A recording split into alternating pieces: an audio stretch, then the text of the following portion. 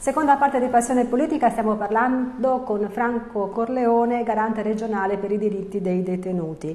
Allora, alla luce di tutto quello che abbiamo analizzato fino adesso, facciamo qualche esempio pratico, perché eh, la situazione delle carceri toscane purtroppo eh, non si discosta dalle altre, non siamo non ci differenziamo da, da, da, da, questa situazione che ci ha portato comunque a una condanna nazionale di fronte al palcoscenico del mondo no? per, per lesione dei diritti delle persone. In Toscana intanto diamo qualche numero, quanti sono i detenuti e le strutture che li accolgono, quanti ne potrebbero invece contenere? Ma, eh, dare i numeri è una bella espressione eh, sì. in sì, questo sì. caso, ma diciamo che noi in Toscana abbiamo più di 4.000 detenuti e i posti letto uh, sono mille di meno, questo è l'ordine di grandezza dei problemi. Non sarebbe difficile se venisse fatto quello che eh, dicevamo certo. prima, avere eh, molti posti liberi e quindi cominciare a lavorare per migliorare le strutture che hanno bisogno di ristrutturazioni profonde, non solo quelle le carceri vecchissime, certo. ma anche Solliciano avrebbe bisogno di una ristrutturazione incredibile, almeno sui tetti, per impedire che l'acqua precipiti all'interno di tutto l'istituto. È tutto uguale? Beh, diciamo che in Toscana ci sono moltissime realtà, è una regione ricca anche per le carceri perché sono, c'è di tutto, c'è l'ospedale psichiatrico giudiziario, ci sono le isole, che significa sì.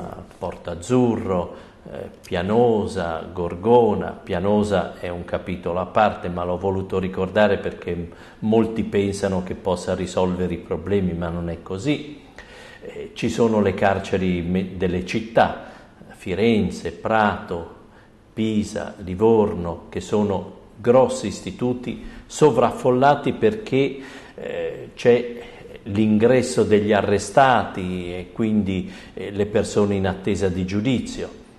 Ci sono carceri come Volterra che invece hanno una struttura architettonica tale che lì il sovraffollamento non c'è perché più di uno per cella non ci può stare e, ed è un luogo che ha questa realizzazione del teatro della compagnia di Volterra che l'ha fatto diventare un modello assieme poi con altre iniziative come le, eh, le cene Galeotte e altre.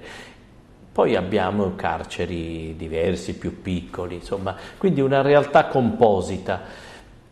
Bisogna, eh, io sogno che la Toscana diventi la regione con la migliore applicazione della riforma con l'amministrazione penitenziaria, con la regione e con i comuni credo che si possa arrivare a questo risultato se ci saranno quelle precondizioni che ho detto.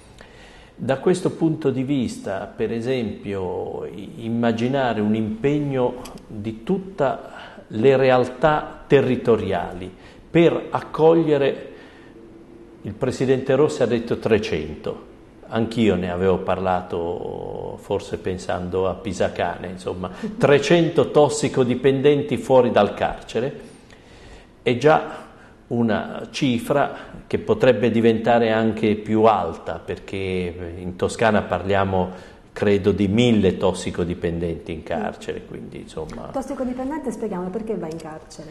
Ma tossicodipendente va in carcere per uh, molti motivi, primo perché è, è un emarginato, secondo perché fa dei furti eh, spesso stupidi, poi perché magari fa delle attività di piccolo spaccio, insomma sono tante le, le ragioni. Ma sono sempre cose piccole azioni, diciamo. Di... Ma d'altronde l'ha detto anche Papa sì, Francesco, sì, sì, eh, le persone certo. importanti in carcere non vanno, tranne qualche, qualche caso, insomma, ma normalmente non ci vanno e, o ci stanno poco, insomma.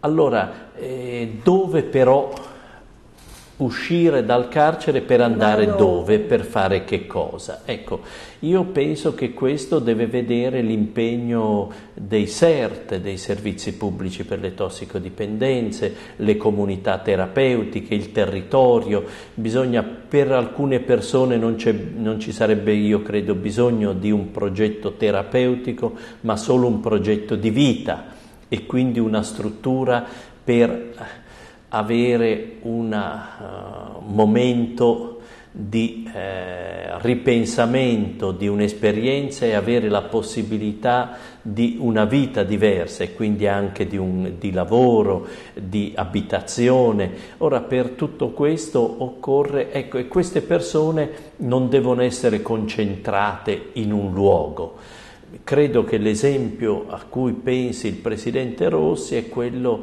che è stato fatto per i profughi, non concentrarli in una mega struttura, ma che si ghettizza per definizione. Ma certo. disseminarli sul territorio, Integra- quindi allora integrarli. No?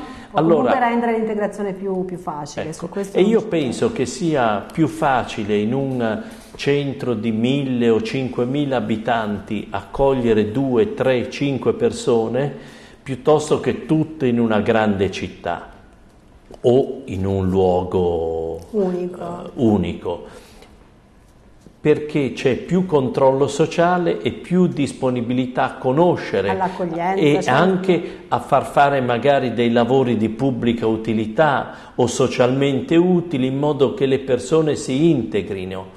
Ecco, io penso che questa possa essere una grande opportunità. Certo, la Regione può anche utilizzare, io credo, le possibilità che la Costituzione offre di presentare al Parlamento delle proposte di legge e io dico in particolare su quei temi eh, di modifica delle leggi che fanno affluire tante persone inutilmente in carcere in modo da spingere il Parlamento ad agire.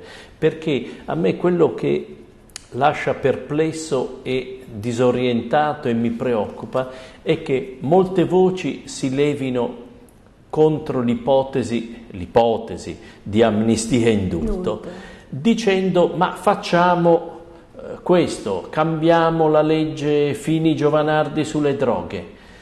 Io però temo che non si faccia né l'amnistia ecco, né la modifica. Allora questo sarebbe poi per l'Italia una catastrofe perché eh, chi ci ascolta eh, lo sa perché è stato detto molte volte che nel giugno 2014 inizierà la responsabilità italiana del semestre di conduzione dell'Unione Europea. Ora, io mi immagino come l'Italia possa assumere questa responsabilità col marchio di paese torturatore, mm.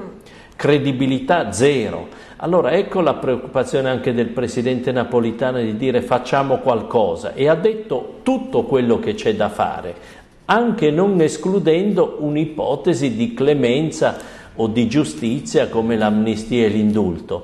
Eh, la parola e adesso io suggerisco che il Parlamento non affronti episodicamente le cose, ma dedichi una sessione parlamentare. Come si fa la sessione di bilancio? Si faccia una sessione per la giustizia e il carcere e si risolvano tutti i problemi che sono sul tappeto in maniera coerente, in modo che non si approvi un provvedimento oggi e fra due mesi se ne approvi un altro che è in contrasto. Sì, no, in realtà poi alla fine mi sembra che il problema sia quello che il problema non viene affrontato. Allora abbiamo solo un minuto a disposizione, però le chiedo, l'ufficio del garante come, come funziona? Il garante regionale per i diritti dei detenuti come, come opera?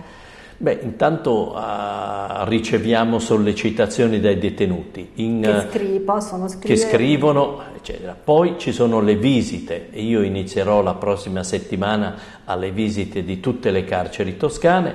In Toscana per fortuna ci sono cinque garanti in realtà specifiche e quindi la collaborazione è ricca anche da questo punto di vista e, e la verifica di quello che si fa. Per esempio, eh, a giorni inizieranno delle sperimentazioni in Toscana di apertura delle celle per otto ore al giorno, mentre oggi vengono aperte due o tre ore al giorno. Ecco, è una prova. Cosa vuol di... dire apertura? Significa che i detenuti non stanno ammassati eh, nelle celle senza possibilità neppure di, di mangiare o leggere o studiare, ma avranno altri luoghi per fare attività, non per stare in ozio, certo. perché stare in ozio in cella o stare in ozio in un altro luogo. Certo.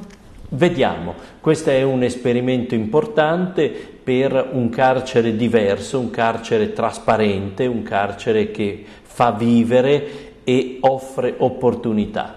Eh, è una scommessa, la giocheremo e credo che questo ci potrà aiutare però a dire che il carcere non può avere il destino solo di essere una prigione senza luce. Senza luce, soprattutto dove magari si ritorna oppure ci si uccide. Oppure, oppure ci, si, ci uccide. uccide. Certo.